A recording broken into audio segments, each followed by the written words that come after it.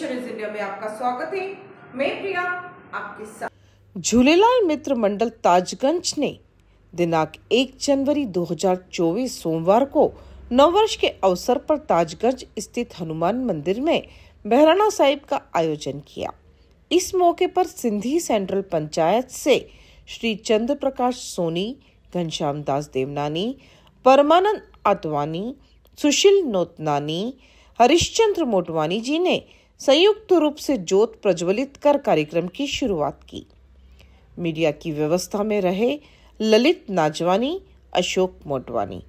इस मौके पर मित्र मंडल ताजगंज से शंकरलाल आसवानी, विजय मोटवानी, लक्ष्मण दास बेलानी, हर्ष दासवानी, किशोर मोटवानी, सोनू हरिश्चंद्र बिल्दानी व महिलाओं से दादी पकानी, लीलावती मोटवानी, लक्ष्मी ज्ञान चंदानी महिमा नाजवानी, केसर आसवानी, रजनी मोडवानी भावना बसरानी, पूजा लालवानी, दिव्या मोटवानी मौजूद रही।